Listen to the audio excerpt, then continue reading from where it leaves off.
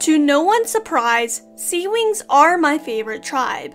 I have a couple of sub-tribe ideas for them, but I'll try to split up my coverage of them so y'all don't get too bored. The tribal variants on Sea Wings I'm going to be doing today is called Deep Sea Wings. Sea Wings who live uh, deep in the sea as the name implies. I brought this idea up a year ago or so on my tribal headcanons video, and since then, my ideas for them have only expanded. So I'm going to be going over the Deep Sea Wing tribe today. Before we get started, if you are new to this channel, please think about subscribing. I regularly post both Wings of Fire and Warrior Cats content so you'll never be bored. And to my current subscribers, thank you so much for supporting me. I wouldn't have gone here without y'all. Now onto the tribe. Let's start with how they look.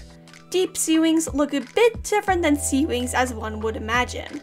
Their wings have become fins along the back due to their ancestors not flying and spending their time underwater. Deep sea wings are also much larger than regular sea wings because of the pressure of the deep sea. They tend to be around 1.5 times larger on average, making them the largest dragon tribe. If they were a full tribe, they are a sub-tribe. Their eyes are much larger than surface sea wings. They don't see color as well and are very sensitive to light. Because of that, their bioluminescent scales aren't as bright as sea wings, but they still are bright enough to lure in prey. The tribe also has large teeth, a feature common among deep sea creatures. Deep sea wing scales are easier to puncture than regular sea wing scales. Scales in the tribe are red or black. I thought about making them transparent like some squids or jellyfish, but at that size, I don't think it would be realistic. It was a cool idea though.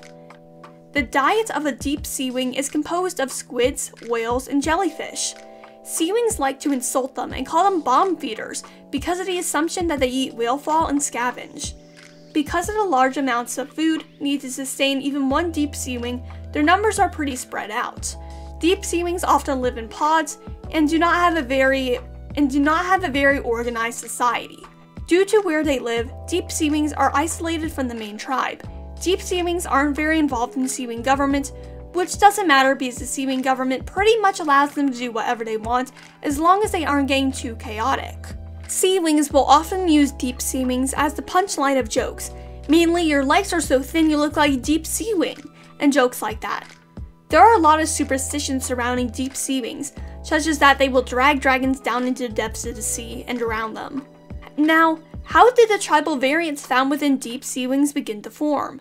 The supposed founder of the deep sea wing subtribe was a bastard child of the sea wing king who wanted the throne. She was refused a challenge request by the incubant queen, and because of that, she built up a rebellion of moderate size to take the throne in a different way. The reigning queen was able to defeat the rebellion and push them back to the deep reaches of the sea. In order to make sure that the rebellion did not try and take over once more, she assigned guards to patrol the area. When the queen after the next came along and took down the restrictions, a few generations had passed in the deep. Because of that, the descendants of the rebellion did not have anywhere to return to and decided to stay down there.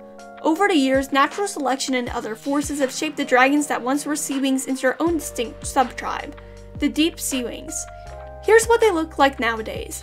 If you have any other tribes you'd like to see me make variants of, comment them down below. If you like this video, feel free to subscribe. I make Wings of Fire and Cats videos pretty often, and your support would mean a lot to me. And to those who've already subscribed, thank you for continued support. I wouldn't have gone here without y'all. Peace, Rogan out.